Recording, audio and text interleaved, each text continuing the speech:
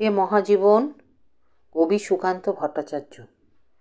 হে মহাজীবন, আরে কাব্য নয়, এবার কঠিন কঠোর গদ্যে আনো।